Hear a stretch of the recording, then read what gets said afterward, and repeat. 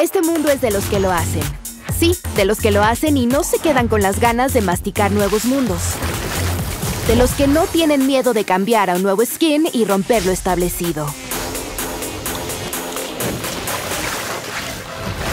De los que siguen su propio hype y no se quedan con el discurso de siempre.